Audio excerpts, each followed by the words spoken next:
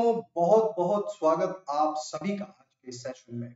Very warm welcome and a wonderful morning to each one of you स्वागत है बच्चों आप सभी का बायनोमियल नोमेनक्लेचर पार्ट एट में। तो जो बच्चे इस सीरीज़ को जानते हैं और जो इस सीरीज़ को पहले से देख रहे हैं, उनको इसके बारे में सारी की सारी बातें पता है। किस तरह से हम डिस्कस करते हैं एक एक ऑर्गेनिज्म एक एक जीव के बारे में विद देयर साइंटिफिक नेम ताकि वो सारी की सारी इंफॉर्मेशन आपको याद रहे। Scientific names jewels of biology कहे जा सकते हैं। मतलब ये एक नगीना है। बायोलॉजी को पढ़ने में साइंटिफिक नेम को जानना बहुत ज़रूरी है। और इसको याद रखना कई बार थोड़ा सा मुसीबत भरा होता है। बच्चों के लिए मशक्कत करनी पड़ती है, क्योंकि नाम थोड़े अजीबो गरीब होते हैं, क्योंकि लैटिनाइज्ड है। लेकिन ध्यान दीजिए एक एक साइंटिफिक नेम को बनाने के पीछे, उसको, उसका नामकरण करने के पीछे कुछ ना कुछ लॉजिक ज़रूर रहता है। एक नंबर बात तो लॉजिक है और दूसरी नंबर बात है कि वो यूनिक है। उस नाम का कोई भी दूसरा जीव कहीं पर भी मिलेगा नहीं। तो बहुत ज़रूरी है इस चीज़ को समझने की आवश्यकता है और एक एक करके उसके बारे में जानकारी लेते हैं। ठीक है? तो साइंटिफिक नेम दो पार्ट में लिखा जाता है जीनस और स्पीशीज है ना? जीनस और स्पीशीज को लिखने का भी तरीका है। दोनों को लिखने का एक प्रोसेस होता है। उस प्रोसेस के बारे में भी हम बात करेंगे। और यहाँ पर जो दिख रहा है आपको तरीका, वो तो सिर्फ़ जीनस और स्पीशीज को अलग अलग आपको दिखाने के लिए। मैं देख लीजिए, हट जाता हूँ, आपको दिखाई दे जाएगा। जीनस और स्पीशीज यहाँ जीनस और स्पीशीज दोनों के दोनों लिखे हुए हैं।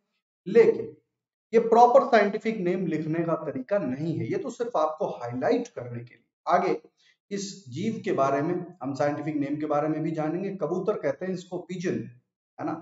तो पिजन के बारे में भी जानेंगे उसके आ, उससे रिलेटेड चीज़ों के बारे में भी जानेंगे। तो स्वागत है बच्चों आप सभी का। आप सब जितने बच्चे आए हुए सेशन को लाइक करिए और अपने फ्रेंड्स वगैरह को भी बता दीजिए कि भाई वो भी आकर के सेशन देखें। ऐसे अकेले अकेले सेशन देखना तो ठीक बात है है ना? इस सीरीज़ को अब आगे रखेंगे कंटिन्यू रीजन बीइंग नीट 2020 के एग्ज़ाम के मद्देनजर ये सीरीज़ मैंने बीच में रोक दी थी, क्योंकि तो और काफ़ी सेशंस की आवश्यकता थी जो कि नीट 2020 के एस्पायरेंट्स के लिए काम के थे। अब बारी है आप लोगों की तो चलिए शुरू कर देते हैं अपने इस सेशन लेट मी सी कौन कौन से बच्चे आ चुके हैं। Anshika, Chandan, Vishnu doctor Pappu crazy boy Shivam, Deepti, Sahil, Anshu, इसके अलावा साक्षी और भी बहुत सारे बच्चे। मनीषा आ चुकी हैं। क्या बात है। ट्रिगर। ट्रिगर के बाद क्या बात है। आप लोगों के चैट तो भाई बंद ही नहीं हो रहे doctor Vipin thank you so much for the roses बच्चे। चलो भाई स्टार्ट कर दिया जाए। अमित कुमार ने ज्वाइन कर लिया है। और भी बहुत सारे बच्चे आ चुके हैं सेशन सेशन शुरू हो चुका है बच्चों। और अब शुरू कर देते हैं। एक एक करके साइंटिफिक नेम और आज कुछ अनोखे जीवों के बारे में भी डिस्कशन है। ऐसा अनोखा जीव जिसके बारे में मैं आपको एक बड़ी इंपॉर्टेंट बात बताऊँगा। एक एनिमल में स्टडी करने वाले साइंटिस्ट थे, जब उनको वो जीव ला करके दिया गया, उसकी डेड बॉडी ला करके दी गई, वो मानने को तैयार ही नहीं थे कि ये कोई एक्चुअल में जीव है। उनको लगा कि कुछ ना कुछ शरारत करी गई है।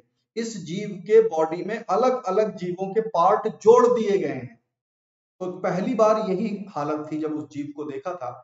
जीव पाया जाता है ऑस्ट्रेलिया, न्यूजीलैंड के इलाकों में देखने को मिलता है। और उस जीव की ऐसी खासियत है कि उसको आप देखेंगे तो आपको लगेगा कि वाकई में कई अलग अलग जीवों के पार्ट उसके साथ जुड़े हुए हैं। ठीक है? तो उनके लिए भी बड़ी दिक्कत की बात थी, जिन्होंने सबसे पहली बार उसको देखा। डेड बॉडी देखी, लेकिन उनको लगा किसी ने मेरे साथ शरारत की है। किसी अनोखे तरीके से, किसी तरीके से डेड बॉडी के डिफरेंट पार्ट की सिलाई कर दी गई है। अलग अलग ऑर्गेनिज्म के पार्ट को लेकर के उनकी स्टिचिंग कर दी गई है और वो जीव बना दिया गया।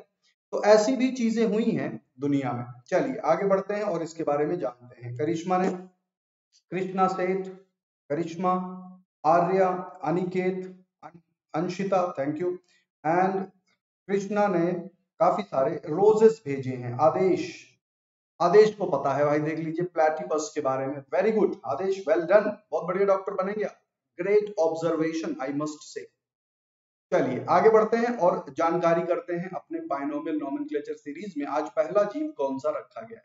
पहला जीव है बच्चों पिजियन जिसको हम कोलंबा लिबिया के नाम से जानते हैं। पिजियन आपको जान करके हैरानी होगी कि ये इवॉल्व हुए हैं एक वाइल्ड बर्ड से, जिसको रॉक पीजियन कह सकते हैं। वाइल्ड वाइल्डरनेस में रहता था। वहाँ से शुरुआत हुई डोमेस्टिकेटेड पीजियन डोमेस्टिक पीजियन यानी कि जिनको लोग पालते थे, अपने घरों में रखते थे। अच्छा कबूतर पुराने जमाने में बहुत तरह के कामों में यूज़ किए जाते थे, जैसे कि कबूतर के पैर में चिट्ठियाँ बाँध दी जाती थी छोटी छोटी और संदेश भेजे जाते थे एक जगह से दूसरी। सोच लीजिए, कबूतर जो है, इतना ज़्यादा ट्रेंड किए जाते थे। ठीक है ना? तो आप समझ ही गए होंगे कि ये खेल काफ़ी पुराना है। कबूतरों को लेकर के ये खेल काफ़ी पुराना है। लेकिन खास बात तो ये है वो जो कैप्टिविटी वाले कबूतर थे, जिनको यूज़ किया जाता था, पाला जाता था, रखा जाता था डोमेस्टिक बना करके रखा जाता था, उनमें से कुछ पिजियन भाग निकले। कुछ कबूतर भाग निकले और जा करके उन्होंने दोबारा से फिर अपनी अलग ही दुनिया बसा ली जो डोमेस्टिक ना होकर के अब जंगली हो गए। तो यानी कि बाहर से पकड़ करके लाए गए वाइल्ड से डोमेस्टिक बनाना तो सुना है आपने, लेकिन डोमेस्टिक से वाइल्ड बन गए। ये पीजन के साथ हुआ और इतना बढ़िया अब आज की डेट में डिस्ट्रीब्यूशन है कि ये खतरे से बाहर है। इनको खतरा नहीं है कहीं पर भी। चलिए तो पिजन यानी कि कोलंबा लिबिया यहाँ से करते हैं शुरुआत आज के अपने सेशन को। लेकिन ध्यान दीजिए बच्चे साइंटिफिक नेम को लिखने का तरीका, यानी कि बायोनोमियल नोमन में प्रयुक्त तो होने वाले प्रोसेसेस क्या है? देखिए, Columba is the genus Columba is genus livia is the species ठीक है? अब जब कोलंबा लिबिया को हम किसी भी बुक में देखेंगे आप प्रिंट किया जाएगा, या पब्लिश किया जाएगा तो इटैलिक्स फॉर्म में रहेगा वो।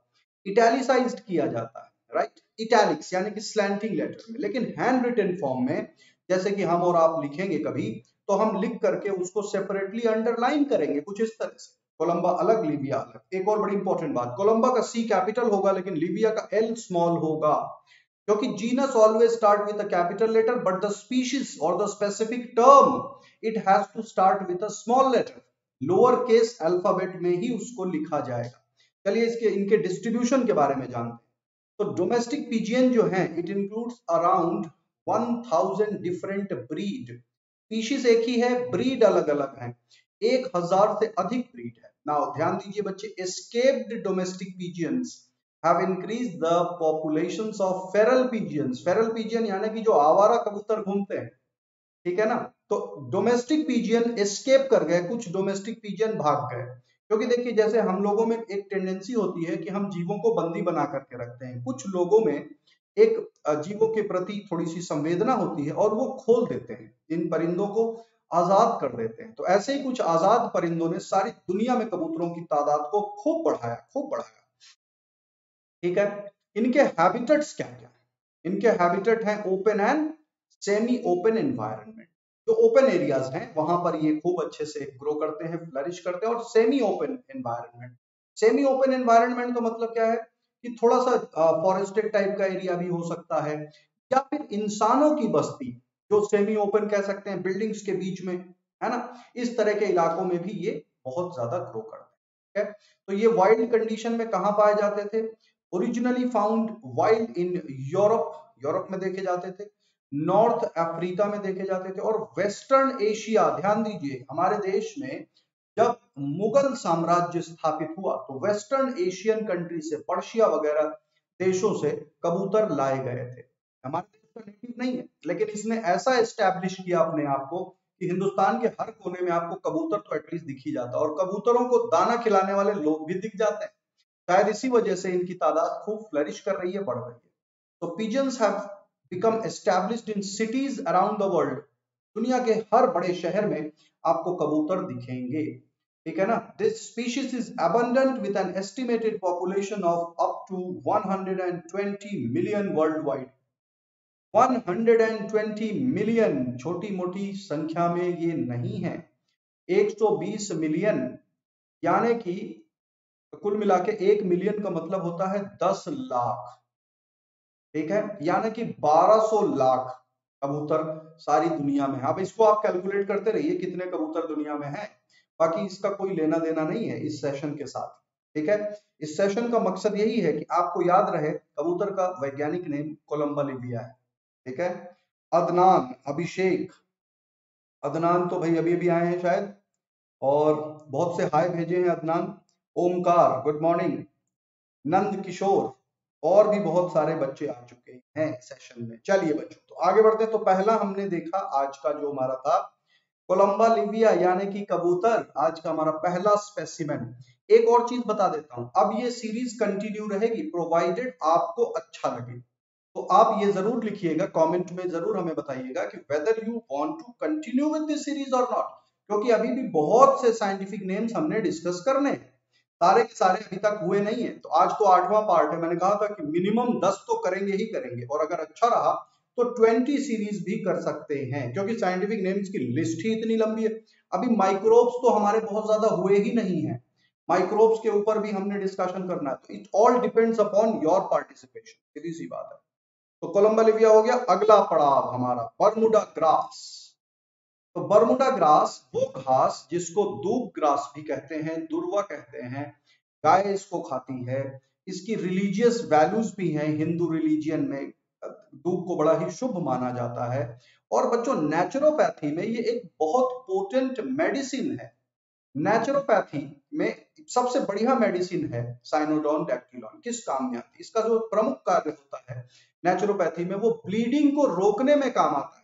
कहीं पर बॉडी में कट हो जाए, अगर आपके पास, आप कहीं ऐसे इलाके में है जहाँ पर मेडिकल फैसिलिटी नहीं मिल पा रही है, कहीं घूमने गए, किसी हिली एरिया में है फॉरेस्टेड एरिया में है, जहाँ मेडिकल फैसिलिटी आपसे दूर है तो आप क्या कर सकते हैं? आप इस ग्रास को, जो हमारी दूब ग्रास है, इसको रगड़ करके थोड़ी सी हाथ में लेकर के आप रगड़ सकते हैं, रगड़ेंगे तो जूस निकलेगा, उस जूस को अगर ब्लीडिंग एरिया में डाल दिया जाए ब्लीडिंग वहीं के वहीं रुक जाती है। समझ में आई बात? तो it is such a potent medicine to stop bleeding bleeding को रोकने की बहुत बढ़िया दवा है। इसको बर्मुडा ग्रास भी कहते हैं, इसको साइनोडॉन डैक्टिलॉन भी कहते हैं। और गाय के लिए ये बहुत काम की होती है। सीधी सी बात है। भाई, कोई भी मवेशी जो है, हमारे जानवर जो चारा चढ़ते हैं, वो सबसे ज़्यादा पसंद करते हैं साइनोडॉन डैक्टिलॉन को हरी हरी दूब ग्रास लेकिन ध्यान रहे, इस दूब ग्रास की न्यूट्रिटिव वैल्यू बहुत ज़्यादा नहीं इसलिए, इसीलिए जो यानी कि डेयरी फार्म्स वगैरह मेंटेन करते हैं लोग, वो गाय को घास खिलाने के अलावा सप्लीमेंट्स भी देते हैं। फ़ूड सप्लीमेंट्स का भी दिया जाना आवश्यक है को, है ना?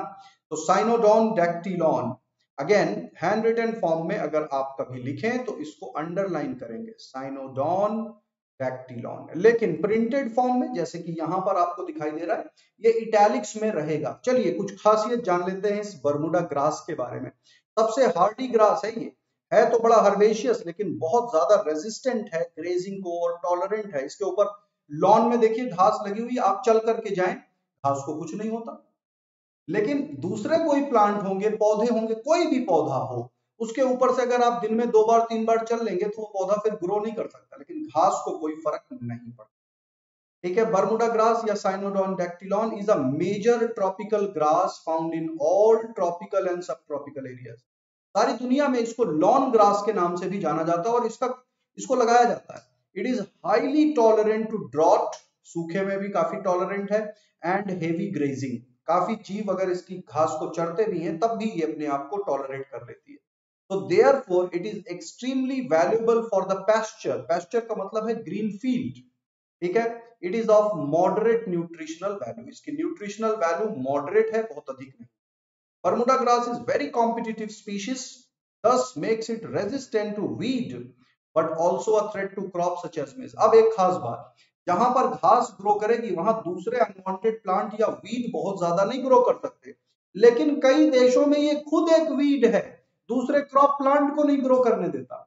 भाई आपको लॉन सजाना है? तो आपने घास लगाई हुई है तो यू आर हैप्पी कोई और पौधा हो नहीं रहा।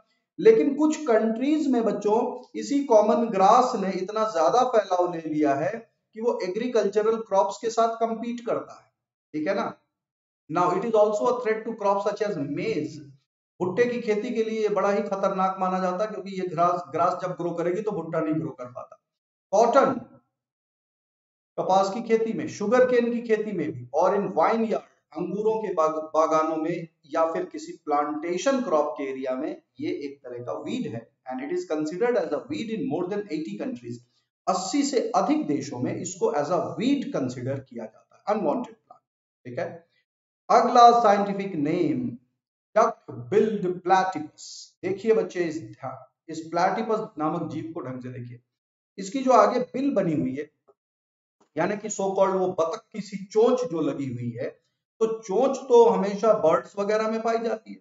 और इसकी चोंच काफ़ी ब्रॉड और प्रॉपर मतलब एक तरह की बतख की जैसे ही लगती है, थोड़ी चौड़ी ज़रूर है। लेकिन कोई आपसे कहे कि ये ये एक मैमल है तो क्या आपको भरोसा होगा? और एक चीज़ जान करके तो और हैरान हो जाएँगे कि ये है तो मैमल लेकिन यंग वंस को बर्थ नहीं देता, अंडे देता। अच्छा मिल्क भी प्रोड्यूस करता है इनमें फीमेल्स तो the females produce the milk अब है तो मैमल हेयर भी है बॉडी के ऊपर, लेकिन एग लेइंग मैमल है डक बिल्ड प्लेटिनस इसके साथ साथ एक और आता है एकिडना इसको ऑर्निथोरिंकस कहते हैं। देख लीजिए Ornithorhynchus anatinus so this is the scientific name Ornithorhynchus anatinus सारे बच्चे इसको अच्छे से देख लें, और इसके बारे में जानकारी आगे हम देने जा रहे हैं। ठीक है? Future doctor miss Adnan cute और कौन कौन आ गया है? रोहित आ चुके हैं फ्रॉम हरियाणा। हेलो बच्चे। अंकित शक्ति ने ज्वाइन कर लिया है। तनु आ चुके हैं। और भी बहुत सारे बच्चे। और बच्चों लाइक करना मत भूलिए। सेशन को लाइक करना ज़रूरी है आपकी ज़िम्मेदारी। तो डक बिल्ड प्लेटिपस इसको गौर से देखिए इस जीव को। ऐसा अनोखा जीव है और बड़ा अच्छा तैराक है। सेमी एक्वेटिक है। पानी में रहना अधिक पसंद करता है। पानी में रहना अधिक पसंद है इसको। ज़्यादा पसंद करता है। डक, बिल्ड प्लेटिपस ऑर्निथोरिंकस नाम तो आपने सुना ही होगा। ऑर्निथोरिंकस, इस नाम से आप ऑलरेडी वाकिफ हैं। ऑर्निथोरिंकस, ये देखिए ऑर्निथोरिंकस, एनाटिनस, ठीक है? एक और बड़ी इंपॉर्टेंट बात। जैसे ही ये हम साइंटिफिक नेम की फहरिस्त कंप्लीट करेंगे, जो आज की लिस्ट है, इसके बाद एक अन अकेडमी क्विज भी होगी। प्लांट किंगडम और एनिमल किंगडम के ऊपर। क्योंकि जब हम वैज्ञानिक नामों की चर्चा करते हैं साइंटिफिक नेम्स के बारे में जानते हैं तो हम ज़्यादातर प्लांट किंगडम और एनिमल किंगडम के मेंबर्स को ही लेकर के डिस्कशन करते हैं। तो एक क्विज होगी। 20 एमसीक्यूज करेंगे आपके साथ। प्लांट किंगडम एनिमल किंगडम के ऊपर। अन लर्निंग ऐप पर। ठीक है? Now let us understand about this duck billed platypus. It is a semi-aquatic, egg-laying mammal. मतलब पानी में भी रहना पसंद करता है, बाहर भी रहता है एग लेइंग मैमल है and it is endemic to eastern Australia eastern Australia का नागरिक है, वहाँ का एंडेमिक है इंक्लूडिंग टस्मानिया टस्मानिया भी एक छोटा सा टापू है ऑस्ट्रेलिया के पास तो ईस्टर्न ऑस्ट्रेलिया और टस्मानिया इससे मिलते जुलते जीव न्यूजीलैंड में भी पाए जाते हैं, ऑस्ट्रेलिया में भी पाए जाते हैं। लेकिन ये जो डक बिल्ड प्लेटिपस है, ये ऑस्ट्रेलिया और टस्मानिया में पाया जाता है ठीक है? It is the sole living representative of its family यानी कि और निथो रिंकीडे फैमिली का ये इकलौता मेंबर है, एक ही जीनस है, ठीक है? तो sole living representative of its family Ornithorhynchidae and the genus Ornithorhynchus ठीक है? Though a number of related species appear in the fossil record fossils में बहुत सारी species पाई जाती हैं इनसे related जो है species आप कह सकते हैं ये एक तरह का living fossil ही है now together with four species of echidna ये duck billed platypus ornithorhynchus इसके साथ साथ echidna की चार species इसको मिला लिया जाए तो five extant species of monotremes कहलाते हैं। मोनोट्रीम्स क्या है? The only mammal that lay eggs instead of giving birth to young ones ठीक है? ये एग लेइंग मैमल्स हैं मोनोट्रीम्स तो मोनोट्रीम में है पाँच, चार हैं एकिडना की स्पीशीज एक है और निथोरिंकस यानी कि डक बिल्ड प्लेटिमस ना अब एक अनोखा जीव वीनस फ्लावर बास्केट इसका नाम आपने सुना है। Euplectella aspergillum one of the species बच्चों, ये इतना खास स्पीशीज है कि जापान जैसे देश, इसको एज अ गिफ्ट यूज़ किया जाता है। और इस गिफ्ट को किसको दिया जाता है? न्यूली मैरिड कपल्स को दिया जाता है। गिफ्ट इस गिफ्ट के पीछे का जो लॉजिक है, वो क्या है, वो समझ लीजिए। वीनस फ्लावर बास्केट की बहुत ज़्यादा कीमत है। जापान में समंदर से गोताखोर इसको लेकर के आते हैं और ये शादियों की बाज़ार में बड़ा शुमार है इसका। यानी कि जैसे होता नहीं है कि आपके किसी ने पार्टी में बुलाया तो आप ढूंढते हैं क्या गिफ्ट देना है, क्या नहीं देना, कुछ नहीं मिलता तो हम एक बुके लेकर के चले जाते हैं, फ्लावर बुके लेकर के चले जाते हैं। वही ले जाना पसंद करते हैं, गिफ्ट के लिए। अब क्वेश्चन ये है कि जापान में ये सबसे शुभ गिफ्ट माना जाता है मैरिड कपल्स के लिए। ध्यान दीजिए, आपको इस स्पॉन्ज के अंदर एक जीव दिखाई दे रहा है। बच्चों स्पॉन्ज के जो फाइबर्स हैं, उन्होंने ऐसा नेटवर्क बना रखा है इसके अंदर का वो जीव बाहर नहीं निकल सकता। ये देख लीजिए, एक तरह का एक छोटा सा श्रिम्प है। श्रिम्प या लॉबस्टर जो होते हैं, अर्थ्रोपोडा है, और ये एक छोटा सा अर्थ्रोपोडा इसके अंदर ही रहेगा, सारी ज़िंदगी इसके अंदर रहेगा। और आपको एक चीज़ और जान करके हैरानी होगी ये हमेशा पेयर में रहता है। मेल और फीमेल, दोनों श्रिम्प साथ साथ रहते हैं और सारी ज़िंदगी साथ साथ रहते हैं। यही वो लॉजिक है जिसके लिए जापान के लोग इसको बड़ा शुभ मानते हैं और मैरिड कपल्स को दिया जाता है। ये एज अ गिफ्ट लेकिन ज़ाहिर सी बात है, पानी से बाहर निकाल लिया तो इसके अंदर का श्रिम्प भी मर जाएगा और ये बीनस फ्लावर बास्केट ये खुद भी मर जाता है। ठीक है? तो ये बड़ी अनोखी चीज़ है। So they live together forever अब क्वेश्चन है कि ये ट्रैप हुए कैसे? ये ट्रैप हुए कैसे? इसके अंदर कैसे पहुँच गया और ज़िंदगी भर एक जेल में क्यों बंद है? तो बच्चों, ये एक तरह का सिम्बायोटिक रिलेशनशिप है। जब ये छोटे फॉर्म में रहते हैं, इन इन श्रिम्प के एग वगैरह जो होते हैं, वो किसी ना किसी लार्वा या एग जा करके छोटे छोटे पोर के थ्रू ये फ्लावर वीनस फ्लावर बास्केट में एंटर कर जाते हैं। जब साइज़ इनका बड़ा हो जाता है तो वो निकल नहीं पाते। ये वीनस फ्लावर बास्केट हमारी जो मॉडर्न इंडस्ट्री है, इससे भी ज़्यादा एडवांस्ड है। कैसे एडवांस्ड है? चलिए इसके फाइबर्स के बारे में जानते हैं। ये तो ये जो फाइबर्स हैं, इसके ग्लास फाइबर टाइप की इसकी बॉडी होती है। और ग्लास को सिलिका से ग्लास बनाने में हमें हीट करने की ज़रूरत होती है। खास बात यह है कि ये हीट नहीं करता सिलिका को और ग्लास लाइक फाइबर बना देता है। कैसी अनोखी बात है। ग्लास लाइक फाइबर बनाता है विदाउट हीटिंग द सिलिका भाई ग्लास क्या है? सिलिकॉन डाइऑक्साइड और हमने ग्लास फाइबर के बारे में भी पढ़ा है। ग्लास फाइबर जो बच्चे थोड़ा सा टेक्नोलॉजी में इंटरेस्ट रखते हैं, आपको जान करके हैरानी होगी कि ग्लास की रॉड को अगर गर्म करके एकदम से खींचा जाए तो वो फाइबर में तब्दील हो जाता है और वो फाइबर टूटता नहीं है। शीशे का फाइबर कहलाता है ग्लास फाइबर कहलाता है। हमारे एयरक्राफ्ट की बॉडी में वो ग्लास फाइबर यूज़ किया जाता है। ग्लास फाइबर कांच का फाइबर शीशे का फाइबर ठीक है? तो इनकी भी बॉडी उसी शीशे के फाइबर की तरह बनी हुई है, लेकिन कभी ब्रेक नहीं होती। ठीक है? मैं आपको ये देखो प्रोसेस भी बता रहा हूँ। किसी कांच की रॉड को ग्लास की रॉड को बीच में से हीट करिए और जब वो पिघलने से लगे हीट हो जाए, उसको एकदम से स्ट्रेच कीजिए तो बहुत पतले पतले थिन फाइबर्स बन जाते हैं। वो कॉटन फाइबर होते हैं। वो बिल्कुल सिल्क के धागे के नुमा हो जाते हैं और उनकी टेंसाइल स्ट्रेंथ काफ़ी स्ट्रॉन्ग मानी जाती है।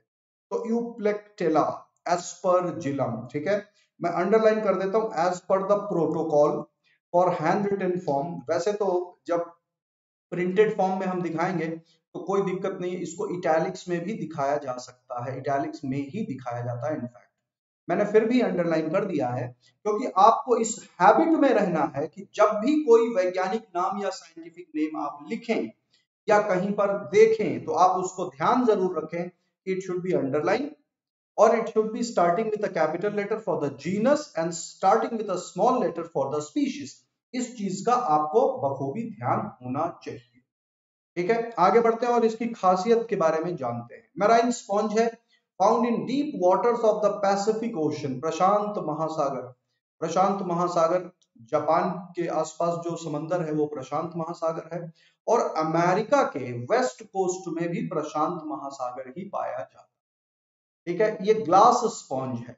As other glass sponges they build their skeleton out of silica silica से बनाते हैं अपना skeleton which is of great interest in material science as they do not require heat to form their glass lattices glass fibre या glass की जो लेटाइसिस बनाते हैं, उसके लिए इनको हीट की आवश्यकता नहीं पड़ती which in some ways make their properties superior to manufactured fibre optics जो फाइबर ऑप्टिक्स हम यूज़ करते हैं टेलीकम्युनिकेशन में उन फाइबर ऑप्टिक्स से ज़्यादा एडवांस्ड है ये समुद्री की, कीड़ा एक समुद्री जीव। समझ रहे हैं? Now as other sponges they feed by filtering sea water to capture plankton ये प्लैंकटन को पकड़ करके अपने डाइजेस्टिव वैक्यूल्स के अंदर प्लैंकटन को डाइजेस्ट करते हैं। ये भी एक तरह का स्पॉन्ज ही है। ठीक है? So this was the information about the sponge Now pine tree, Pinus roxburghi हमारे कंट्री में पाया जाने वाला पाइन ट्री हिमालय की तलहटी में पाया जाने वाला ये चीड़ का पेड़ भी कहते हैं चीड़ पाइन भी कहते हैं इसको चीड़ जिसको कहते हैं चीड़ देवदार ये पेड़ जो है हमारे देश के हैं।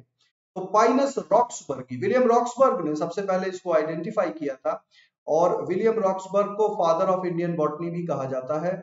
विलियम रॉक्सबर्ग के नाम के ऊपर इसका नामकरण हुआ पाइनस रॉक्सबर्गी जिम्नोस्पर्म है पाइन ट्री है निडल लाइक लीफ है। और इसकी निडल लाइक लीफ ज़्यादातर पॉइंटेड होती हैं, पतली होती हैं ट्राइंगुलर होती हैं। क्रॉस सेक्शन में ट्राइंगुलर होती हैं वैक्सिक्यूटिकल होता है रेजिन डक्ट्स होते हैं। लीफ के अंदर पाइन की लीफ का क्रॉस सेक्शन हम बहुत बार करते हैं लैब में और देखते हैं मेल एंड फीमेल कौन एक ही प्लांट पे आते हैं। समझ आई बात? Pinus roxburghii let us understand it is a large tree reaching 30 to 50 metre 30 से 50 मीटर यानी कि 90 से लेकर के 150 फीट तक की ऊंचाई को पहुँच सकता है। ट्रंक का डायमीटर इसमें 2 से 3 मीटर का होता है। दो से तीन मीटर यानी कि ट्रंक का डायामीटर। डायामीटर की बात रही सरकमफ्रेंस की बात नहीं ट्रंक की जो चौड़ाई है अब आप सोच लीजिए तीन मीटर का मतलब हो गया करीब नौ से दस फीट। दस फीट का डायमीटर है यानी कि पेड़ की चौड़ाई दस फीट की है। छोटा मोटा पेड़ नहीं हुआ। हाँ, एक इंसान की जो लंबाई होती है बहुत बहुत अच्छी हाइट का इंसान हो तो छह फीट होती है। ना? ये 10 फीट की चौड़ाई का पेड़ है। और अगर पूरे सरकमफ्रेंस को देखें तो अब आप सोच सकते हैं कितना विशाल काय वृक्ष बनता होगा ये हिमालयन एरियाज़ में, ठीक है? इसका बार्क रेड ब्राउन होता है थिक होता है डीपली फिशर्ड है at the base of the trunk यानी वहाँ पर आपको क्रैक्स दिखाई देते हैं, बहुत गहरे क्रैक्स दिखाई देते हैं। और ऊपर की तरफ़ थिनर और फ्लैंकी हो जाता है। Leaves are needle like in fascicles of three तीन तीन के गुच्छों में ग्रो करते हैं 20 से 35 सेंटीमीटर लंबा, यानी कि करीब करीब 12 से 13 इंच तक लंबे हो जाते हैं नीडल्स और येलोइश ग्रीन होते हैं, ठीक है? ये कई बार जंगल में नीचे कारपेट सा बिछा देते हैं, इनकी पत्तियाँ जब गिरती हैं तो कारपेट सा बन जाता है और ये दूसरे पेड़ों को ग्रो नहीं करने देते, इसी की वजह से जिम्नोस्पर्म की ही प्रजाति उन फॉरेस्ट में ग्रो करती है और बहुत ज़्यादा झाड़ियाँ या कोई छोटे मोटे हर्बेशियस या लता युक्त पेड़ नहीं ग्रो कर पाते। सिर्फ़ इसी वजह से क्योंकि इसकी पत्तियाँ ज़मीन में एक अनफेवरेबल कंडीशन मैंने आपको क्लास ट्वेल्थ की इकोलॉजी में ऑर्गेनिज्म एंड पॉपुलेशन में पढ़ाया है डेसीड्यूअस फॉरेस्ट के बारे में पढ़ाया हुआ temperate forest temperate deciduous forest जहाँ पर जो ग्रो करते हैं जिम्नोस्पर्म उनकी पत्तियाँ गिरती हैं और कुछ तरह की एसिड्स बनाती हैं जंगल के फ्लोर पर, जिसकी वजह से वो कंप्लीटली डिग्रेड नहीं होते वेरी क्विकली है ना? तो ये भी समझ लीजिए, ये उसी प्रजाति का पेड़ है। खाली सिर्फ़ डिफरेंस इतना है कि हमारी कंट्री में पाया जाता है, ये हमारे देश का है। Now comes the silk moth Bombyx mori Bombyx mori ध्यान रखिएगा silk moth silk moth cocoon बनाता है का जो लार्वा है, वो कोकून बनाता है, और वहीं से सिल्क का प्रोडक्शन होता है। मलबेरी शहतूत के पेड़ों में इसकी जो है पूरी की पूरी कॉलोनीज बसती हैं, आप समझ लीजिए। कोकून, बहुत सारे कोकून दिखाई दे जाते हैं मलबेरी ट्री के ऊपर। तो मलबेरी के साथ इसका बड़ा पुराना नाता है। तो silk worm is the larva और caterpillar of a silk moth silkworm एक लार्वा है, या caterpillar it is an economically important insect and it is the primary producer of silk तो सबसे अधिक प्रोड्यूसर यही है सिल्क का। है ना? इसका प्रेफर्ड फ़ूड है white mulberry leaves Morus alba हालाँकि ये कई मलबेरी शहतूत की प्रजातियों पर ग्रो कर जाते हैं, लेकिन मोरस एल्बा, सफ़ेद सफ़ेद शहतूत जो है, जो चाइना में मेनली पाया जाता है। वैसे तो हमारी कंट्री में भी आज की डेट में इसका कल्टीवेशन है। Domestic silk moths are closely dependent on human for reproduction as a result of millennia of selective breeding बहुत वक्त से रेशम की खेती हो रही है तो इसकी वजह से जो वाइल्ड मॉथ हैं उनके पास उतना बढ़िया क्वालिटी का रेशम नहीं पाया जाता। ये वाला मॉथ इंसानों की ही देख रेख में ब्रीडिंग करता है। कॉमर्शियल वैरायटी ऑफ़ सिल्क जो प्रोड्यूस होती है और बहुत सुपीरियर वैरायटी सिल्क पाई जाती है इसके द्वारा। Now wood apple Aegle marmelos जिसको बेल कहते हैं एजल मार्मेलॉस ठीक है? इसको एक और बेल आता है, इसी इसी से मिलता जुलता लिमोनिया एसिडिसिमा उसके साथ कंफ्यूज नहीं होना है, वो होता है खट्टा, ये होता है मीठा। Wood apple Aegle marmelos amphisarca type of fruit पर भी हमने चर्चा करी थी।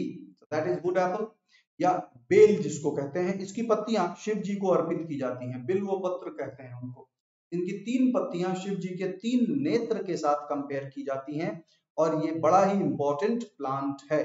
लीवर के लिए बहुत फ़ायदेमंद है इसका अगर इसके जो पल्प को सेवन किया जाए, उससे लीवर को बहुत फ़ायदा मिलता है। So this is wood apple or angel marmelos. चलिए आगे बढ़ते हैं. It is native to across the Indian subcontinent and Southeast Asia, है ना? It is cultivated throughout Sri Lanka, Tamil Nadu, Thailand, Malaysia. ये देख लीजिए आप.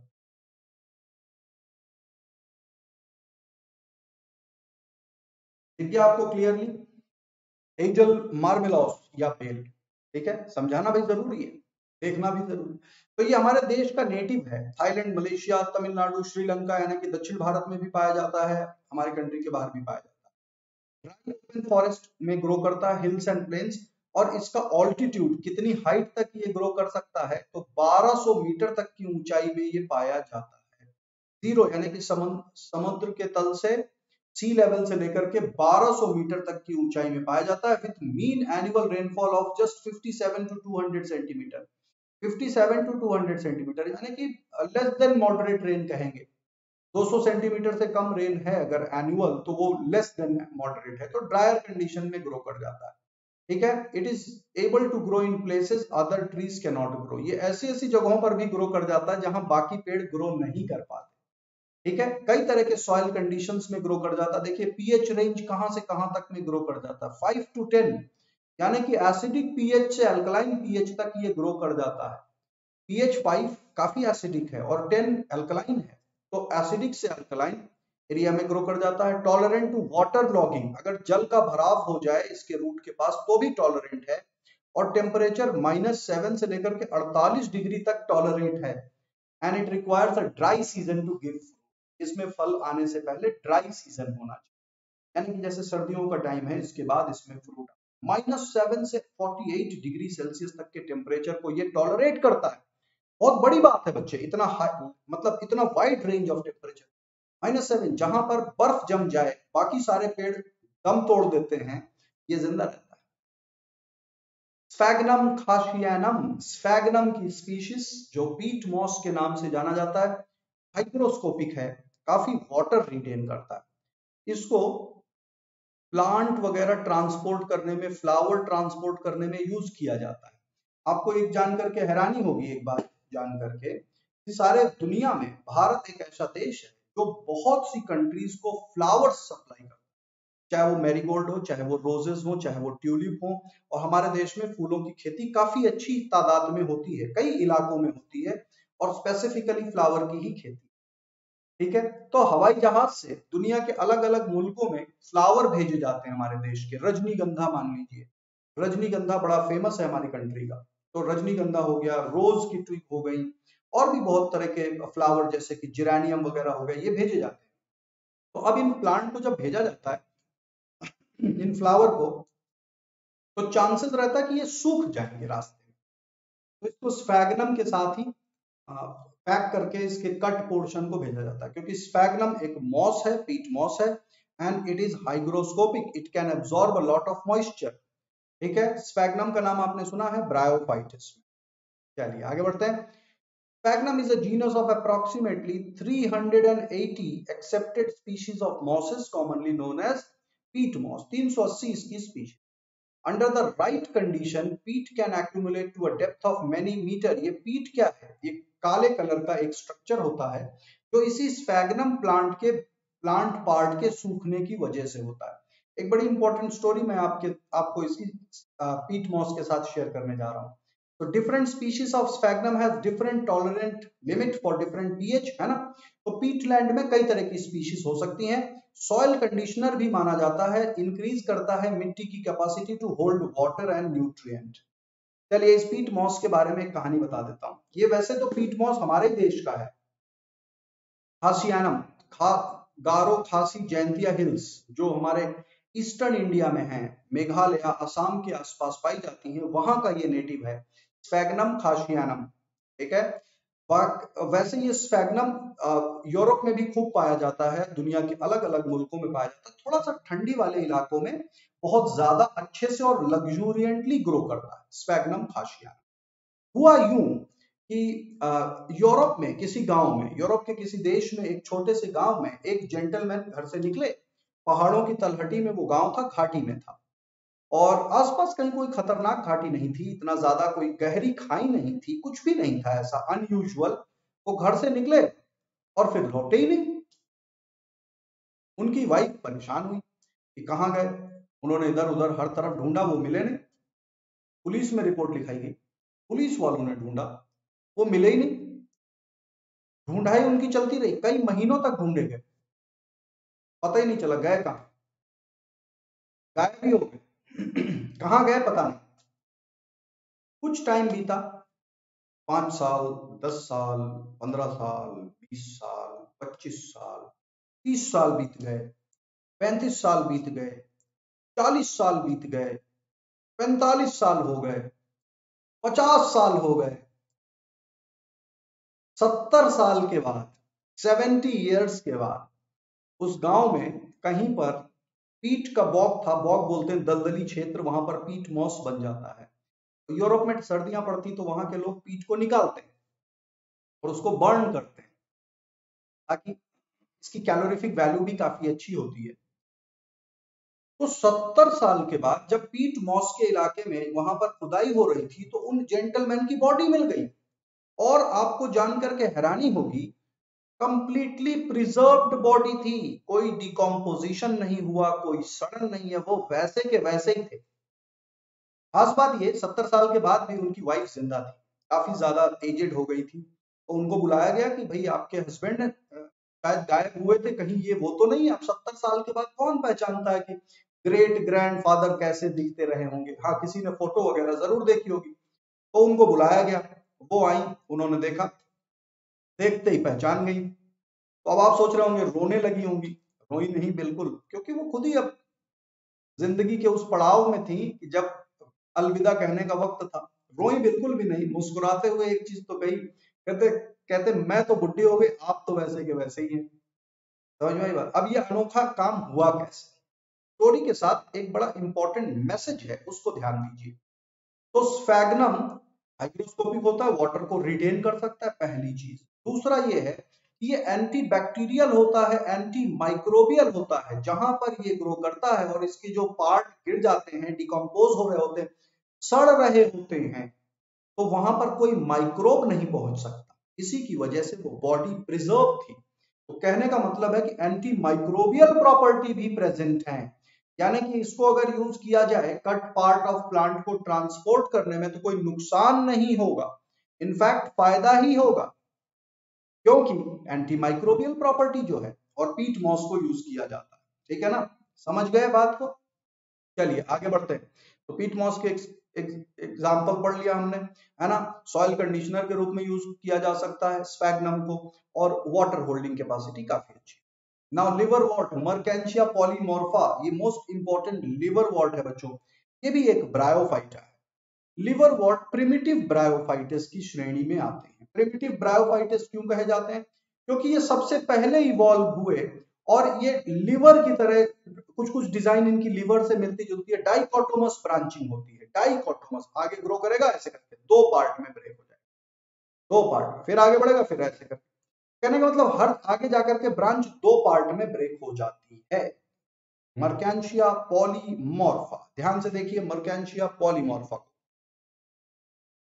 ठीक है? चलिए, इसके बारे में जानकारी लेते हैं। Polymorpha sometime known as common liverwort और अम्ब्रेला लिवर वॉर्ड इसको अम्ब्रेला लिवर वॉर्ड इसलिए भी कहा जाता है कि इसमें जब एंथरीडियम और आर्केगोनियम आता है तो एक छतरी नुमा स्ट्रक्चर को प्रोड्यूस करते हैं। एंथरीडियोफोर या आर्केगोनियोफोर जो कि अम्ब्रेला जैसा दिखता है। इस वजह से इसको अम्ब्रेला लिवर वॉर्ड भी कहा जाता है। ये एक बड़ा लिवर वॉर्ड है वर्ल्ड वाइड डिस्ट्रीब्यूशन है और इसकी कई सब स्पीशीज हैं। डायोवेशियस होता है मेल एंड फीमेल प्लांट अलग अलग होते हैं, है ना? लंग एलिमेंट के साथ इसको जोड़ा जाता है पुराने टाइम से। ट्यूबरक्यूलोसिस लंग एलिमेंट ऐसा माना जाता था कि इसकी जो डिज़ाइन है वो एनिमल के लिवर से मिलती जुलती है तो लिवर के लिए ये बड़ा इफेक्टिवली काम करता होगा। ऐसा माना जाता ठीक है? मर्केंशिया पॉलीमोर्फा आगे बढ़ते हैं, एक और देखते हैं सी स्पार्कल नॉक्टिलुका सिंटिलैंस नॉक्टिलुका इसके अंदर एक एंजाइम होता है लूसीफरेज लूसीफरेज और लूसीफरिन दो केमिकल में कन्वर्जन होता है, एक दूसरे के साथ ब्रेक होते हैं, तब जाकर के इनमें ये ग्लो आता है। तो जब वाटर को छेड़ा जाता है, यानी कि जैसे वेव आकर के, लहरें आकर के ब्रेक हो रही हैं, तब या किसी ने पैर रख दिया तब इनके अंदर कुछ केमिकल्स का एक्सचेंज होता है, नॉक्टिलुका के अंदर, जिसकी वजह से ये अनोखा ग्लो आता है। इसको सी स्पार्कल भी कहते हैं, नॉक्टिलुका सिंटिलैन चलिए इसके बारे में जान लेते हैं। तो it is a free living marine dwelling species of dinoflagellate जिसमें बायोल्यूमिनेसेंस है है ना? और बायोल्यूमिनेसेंस प्रोड्यूस होता है साइटोप्लाज्म के अंदर, इस प्रोटिस्ट के by luciferin luciferase reaction luciferin luciferase reaction होता है in thousand specially shaped organelles called scintillons बहुत सारे सिंटिलॉन्स होते हैं, उनमें लूसीफरिन लूसीफरेज रिएक्शन होता है। और ये जो ग्लो होता है, ये बड़ा भूतिया सा लगता है घोस्टली ग्लो लगता है। सी घोस्ट या फायर ऑफ़ सी के नाम से भी जाना जाता है इस ग्लो को। चलिए बात करते हैं एस्टेरियस रूबेंस यानी कि स्टार फ़िश के बारे में। सबसे अनोखा जीव एक्सक्लूसिवली मराइन कई बार ये स्टार फ़िश पानी के बाहर आ जाता है। तब इसके लिए बड़ी दिक्कत हो जाती है, क्योंकि ये क्रॉल करके पानी में नहीं पहुँच पाता कई बार। ठीक है? तो वहीं इसकी डेथ हो जाती है, सूख सा जाता है। ये देख लीजिए, ये बड़ी परेशानी में है ये स्टार फ़िश बड़ी मशक्कत कर रहा है यहाँ से निकलने का। तो अगर कोई इंसान आ गया, उसको दया आ गई तो उसको उठा करके पानी में डाल देगा, या फिर ये वेट करेगा लहरों का। अगर कुछ वक्त तक लहर आ गई तो ये उस लहर के साथ बह करके चला जाएगा। नहीं तो फिर तो कुछ हो ही नहीं सकता। तो एस्टेरियस रूबेंस यानी कि स्टार फ़िश चलिए इसके बारे में भी जानकारी लेते हैं। Common starfish Asteridae family को बिलोंग करता है। पाँच आर्म्स होते हैं जो कि 10 से 30 सेंटीमीटर क्रॉस होते हैं, है ना? किसी किसी में बावन सेंटीमीटर तक भी हो सकते हैं क्रॉस व्हाइट स्पाइंस होती हैं रनिंग अलोंग द एबोरल यानी कि upper surface of the arm with low soft mount called papula on either side देख लीजिए इसके बॉडी के ऊपर। छोटे छोटे उभार से बने हुए हैं जिनको पैपुला कहते हैं। ठीक है? ये ये देख लीजिए पैपुला ये एक्सक्लूसिवली मेराइन है, यानी कि समंदर में पाया जाने वाला, समुद्री पानी में पाया जाने वाला जीव है स्टार फ़िश अंजीर फिकस कैरिका फिकस रिलीजियोसा का नाम आपने सुना हुआ है पीपल का वृक्ष फिकस बेंगलेंसिस का नाम सुना हुआ है बैनियन बरगद का वृक्ष फिकस रिलीजियोसा जो है, वो काफ़ी रेवरेंट रेवर्ड ट्री माना जाता है और काफ़ी ज़्यादा उसकी वैल्यू है हमारे कल्चर ना इनफैक्ट जो भारत रत्न का मेडल होता है, वो भी फिकस रिलीजियोसा यानी कि पीपल की पत्ती के डिज़ाइन का होता है। अब एक और फिकस फिकस कैरिका जिसको हम अंजीर कहते हैं, ये एक तरह का ड्राई फ्रूट है। अंजीर एक तरह का ड्राई फ्रूट ये ड्राई फ्रूट उस तरह से नहीं है जो बॉटनिकली ड्राई फ्रूट है, लेकिन मार्केट में मिलने वाले ड्राई फ्रूट्स की श्रेणी में आता है। Botanically it is not a dry fruit ये ध्यान रखिएगा। बॉटनिकली ये एक अलग टाइप का फ्रूट है साइकोनस आपने पढ़ा है साइकोनस सोरोसिस इस टाइप के फ्रूट्स के बारे में, जो पूरा का पूरा हाइपेंथोडियम से बन गया है। यानी कि इन्फ्लोरेसेंस से बना हुआ ये एक फ्रूट है। पूरा का पूरा इन्फ्लोरेसेंस हाइपेंथोडियम इन्फ्लोरेसेंस इस फ्रूट को बनाता है। ठीक है? अंजीर के नाम से ये जाना जाता है। इसमें छोटे छोटे कीड़े होते हैं। अब बच्चों, ये अंजीर तो मैंने भी खाया है और मैं वेजिटेरियन हूँ। ठीक है? अंजीर जो है इसको खाया जाता है और वेजिटेरियन लोग भी खाते हैं, लेकिन इस अंजीर के अंदर बहुत चांसेस हैं छोटे छोटे कीड़े दबे हो सकते समझ में बात? तो इसके बारे में भी आपको पता होना चाहिए, अंजीर फिकस कैनिका। आगे बढ़ते हैं। It is an Asian species of flowering plant in the mulberry family common fig है। है ना? It is the source of fruit also called fig which is an important crop in those areas where it grows commercial Mediterranean और western Asia का native है। अंजीर again Mughals जो हैं अपने साथ देश में आए थे हमारे भारत में क्योंकि वेस्टर्न एशिया में पर्शिया वगैरह कंट्री में पाया जाता है। It has been sought out and cultivated since ancient times Egypt में इसकी खेती होती थी बहुत वक्त पहले है ना? और आ, आज की डेट में इसको फ्रूट प्लांट के रूप में भी लगाया जाता है और ऑर्नामेंटल फ्रूट प्लांट के रूप में भी लगाया जाता है। बात करते हैं मधुका लॉन्गिफोलिया की, जिसको महुआ के नाम से भी जाना जाता है, महुआ। ठीक है? हमारे नॉर्थ इंडिया में इसकी पैदावार बहुत अधिक होती है और ऐसा मानते हैं कि इसमें फ्रूट और फ्लावर आने शुरू करते हैं बड़े लेट में। कई साल के बाद इसमें फ्रूट और फ्लावर आते हैं मधु का लॉन्गिफोलिया। इसके जो फ्लावर्स होते हैं वो लेदरी होते हैं, उनमें शुगरी एक तरह का जूस होता है, जिसको फर्मेंट करके अल्कोहल का भी प्रोडक्शन किया जाता है। तो सारे बच्चे जो नॉर्थ इंडिया के हैं, वो ज़रूर जानते होंगे महुआ के बारे में। राइट शांतनु, अक्ष, राहत, इसके अलावा किमायरा सपना, बहुत से बच्चे जुड़ चुके हैं और बच्चों लाइक भी करें सेशन को। भाई, आप ही के लिए सेशन है। इसके बाद क्विज भी करेंगे। बीस क्वेश्चन करेंगे अभी के अभी। अभी वक्त है हमारे पास। तो महुआ, यानी कि Madhuca longifolia it is an Indian tropical tree found largely in central and north Indian plains and forest, commonly known as mahua.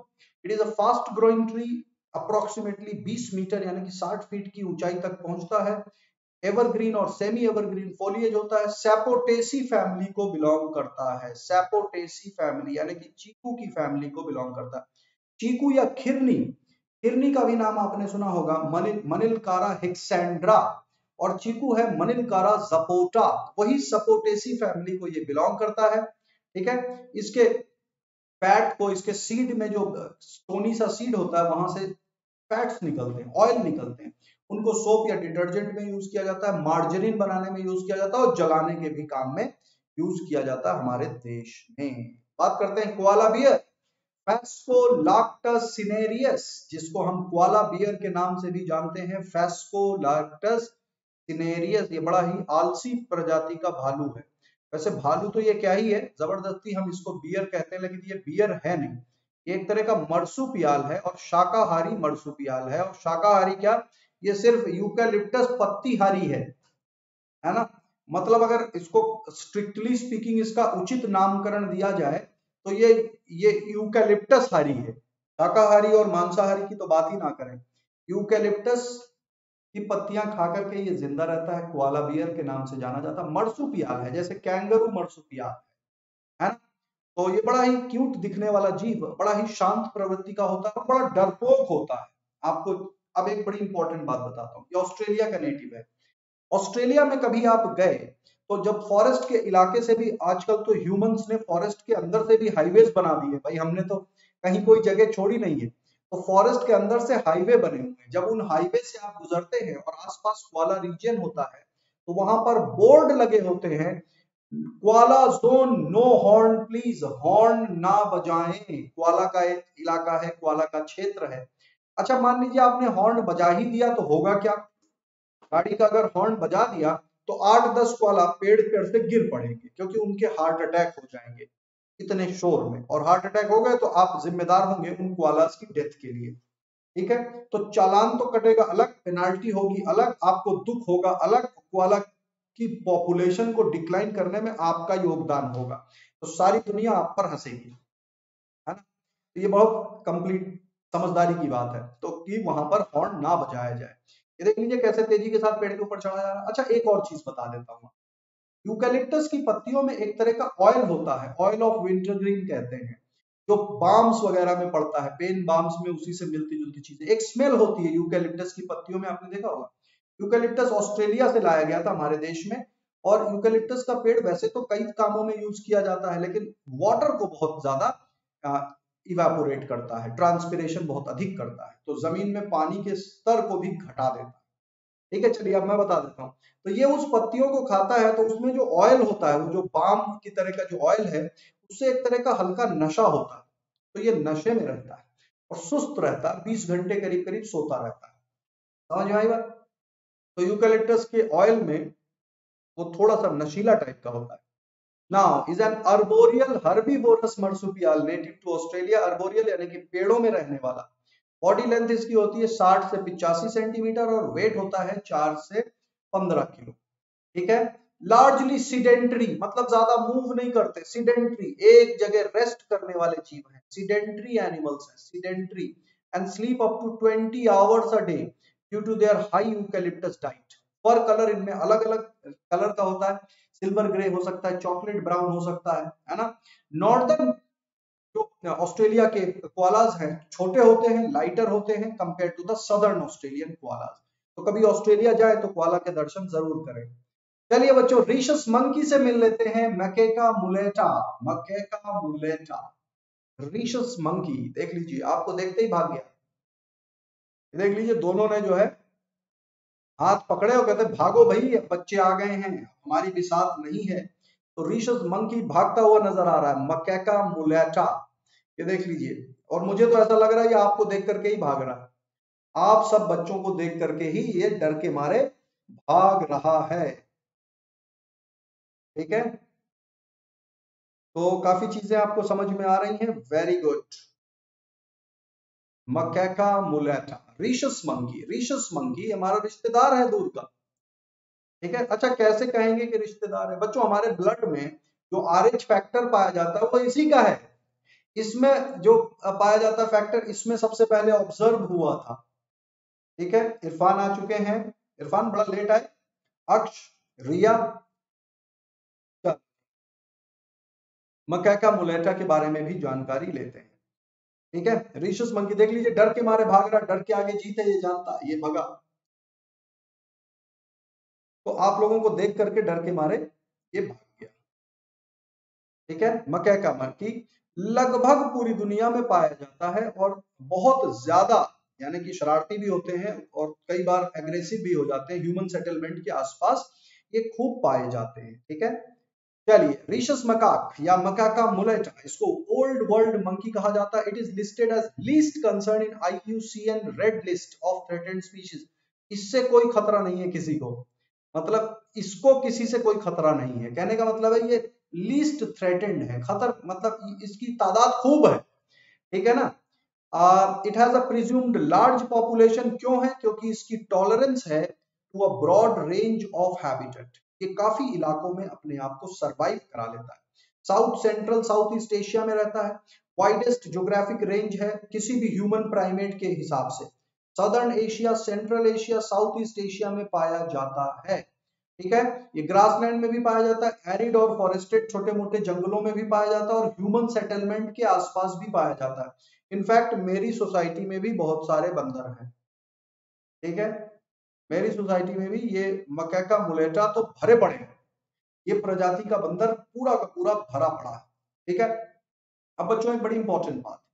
आप सबको, अगर ये सेशन पसंद आ रहा है जो कि आज आठवीं सीरीज़ है, जिस सीरीज़ का आठवां पार्ट है तो आगे भी इस सीरीज़ को कंटिन्यू रखा जाएगा। समझ में आ गई बात? तो मकैका मुलेटा को देख लिया आपने, समझ गए? अब चलिए, बारी है हमारी। अन अकेडमी क्विज करने की प्लांट किंगडम और एनिमल किंगडम के ऊपर 20 क्वेश्चंस हम करेंगे अभी के अभी। ठीक है? तो मैं आपके साथ कोड शेयर कर रहा हूँ। जितने बच्चे सेशन में है, तुरंत के तुरंत लीजिए कोड और जुड़ जाइए plant kingdom and animal kingdom इस क्विज पर एक्सपी पॉइंट अर्न करने का बढ़िया मौका आपको एक्सपी पॉइंट से आप पॉइंट्स में वो तब्दील हो जाते हैं और 10 परसेंट तक का डिस्काउंट आपको मिलता है जब आप अन अकेडमी सब्सक्रिप्शन कभी भी लें। तो ये चीज़ देख लीजिए, आपको इतनी पता नहीं थी, मैंने आपको बता दी। एक्सपी पॉइंट्स को कलेक्ट करिए और 10 परसेंट एक्स्ट्रा डिस्काउंट आपको मिल जाता है। तो ये बहुत ज़रूरी है। सो लेट स्टार्ट 40 सेकेंड का टाइमर रख रहा हूँ। और 20 MCQs plant kingdom and animal kingdom ठीक है? कोड मैं आपके साथ शेयर कर रहा हूँ, जो नए बच्चे उनको प्रोसेस बता देता हूँ कैसे जुड़ना है इस क्विज के साथ। एक और इंपॉर्टेंट बात है, आज शाम तीन बजे मैं एक मेगा क्विज ले रहा हूँ कंप्लीट बायोलॉजी कंप्लीट बायोलॉजी के ऊपर एक मेगा क्विज है तो आप सब ज़रूर आइएगा। कोड है four eight zero four eight zero five four three.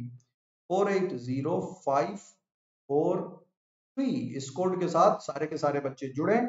Four eight zero five four three, इस कोड के साथ आप जुड़ना शुरू करिए। Four eight zero five four three, चार सौ अस्सी, पाँच सौ तैतालीस, चार सौ अस्सी, पाँच सौ तैतालीस। बड़ी तेज़ी के साथ बच्चे जुड़ने शुरू हो गए हैं। मॉर्निंग में क्विज करने का अपना ही आनंद है। प्लांट किंगडम और एनिमल किंगडम के ऊपर ये क्विज, जिसमें आपको मिलेंगे 20 एमसीक्यूज अभी के अभी, और लीडर बोर्ड में अपना नाम दर्ज करें।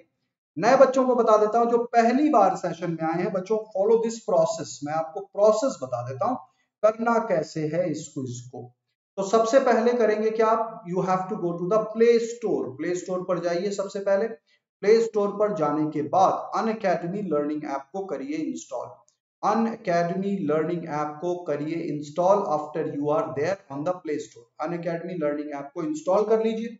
इंस्टॉल जैसे ही कर लिया तो क्या करना है? प्ले स्टोर पर गए। अन अकेडमी लर्निंग ऐप को इंस्टॉल करेंगे। बहुत जल्दी हो जाता है। तीस, चालीस सेकंड के अंदर अंदर इंस्टॉल हो जाएगा। बहुत बढ़िया लाइट ऐप है और बहुत ही बेहतरीन ऐप है।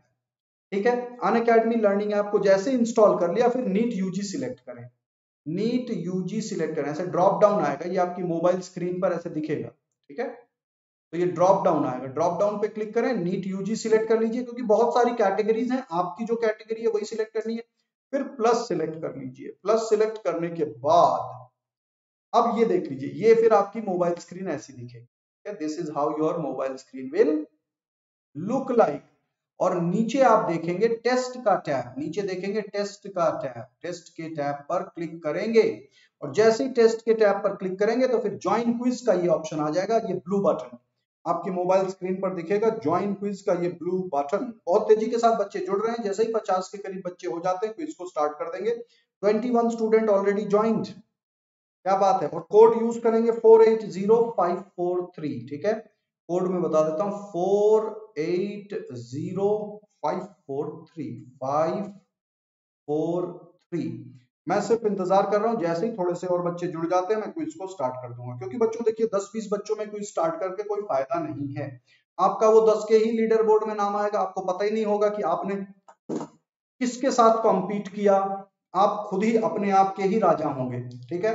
24 बच्चे जुड़ चुके हैं 480543 चलिए, जब तक बाकी बच्चे जुड़ रहे हैं, तब तक मैं अपने बाकी सेशंस के बारे में बता देता हूँ और फिर क्विज को स्टार्ट कर दूँगा आफ्टर अ मिनट ठीक है?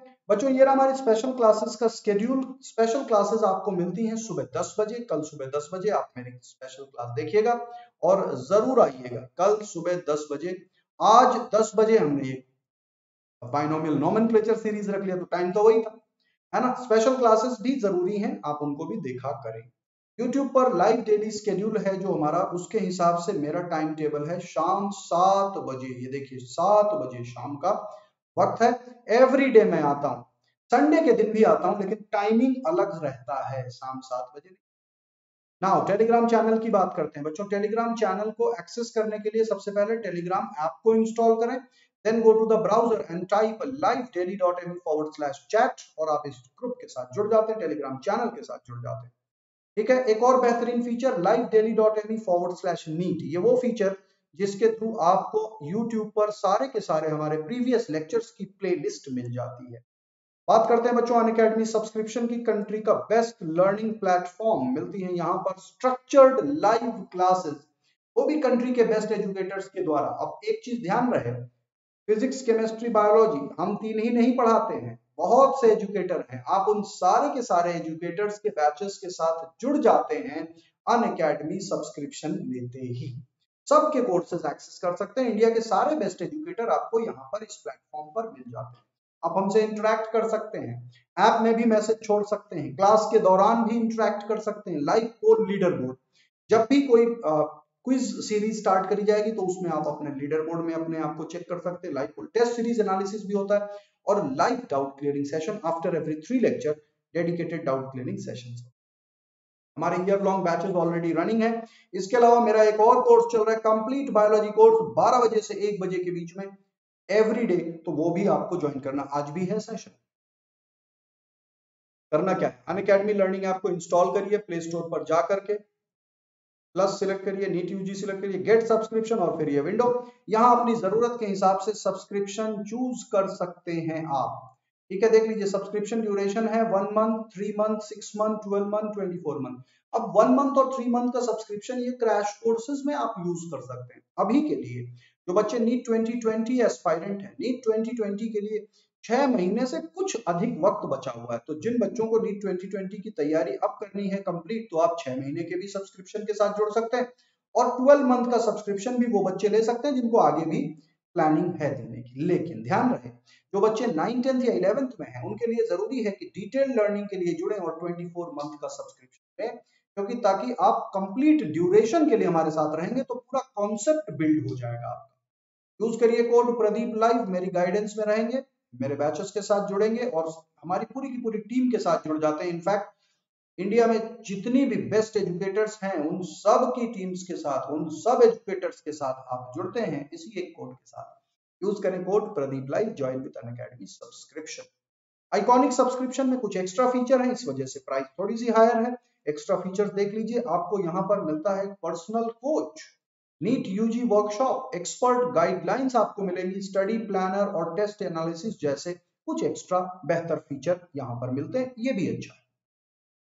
Now Unacademy NEET channel को सब्सक्राइब करें चैनल को सब्सक्राइब करें बेल आइकन को हिट करें हैश नीट लाइव डेली पर अपने सोशल मीडिया प्लेटफॉर्म पर भी शेयर करें ठीक है अब क्विज की टाइम आ चुका है क्विज की बारी है चलते हैं क्विज की तरफ़ नाउ आगे बढ़ने से पहले नीट यूजी क्लियर करिए with Unacademy NEET channel, just NEET, NEET Voyage, NEET Topper, NEET Telugu, all our sister channel together. Let's crack it. And for joining with Unacademy subscription, use code Pradeep Live. आप मेरी guidance में रहेंगे। मेरे साथ अपनी मंजिल के सफ़र को तय करने में कामयाब होंगे। कोड यूज़ करिए प्रदीप लाइव और क्विज का code four eight zero five four three four eight zero four eight zero five four three इस कोड के साथ जुड़ जाइए। तो काफ़ी बच्चे जुड़ चुके हैं इस क्विज के साथ। Four eight zero five four three code के साथ। अब बारी है, मैं काउंट डाउन शुरू करता हूँ और जैसे ही थोड़े से और बच्चे हो गए स्टार्ट कर देंगे। जो बच्चे यूट्यूब पर अभी भी सेशन देख रहे हैं, बच्चे अभी भी वक्त है, आप जुड़ सकते हैं क्विज के साथ। अभी भी वक्त है, क्योंकि मैं काउंट डाउन शुरू करूँगा तो अगले 30 सेकंड में आपको अन अकेडमी ऐप भी इंस्टॉल हो जाएगा और नीट यूजी और प्लस भी सिलेक्ट कर लेंगे। टेस्ट टैब पर भी क्लिक कर देंगे और ज्वाइन क्विज पर क्लिक कर देंगे। चलिए तो बारी है अब काउंट डाउन की। Ten nine eight seven six five four quickly जुड़ जाइए। कोड यूज़ करिए four eight zero five four three four हो चुका है। थ्री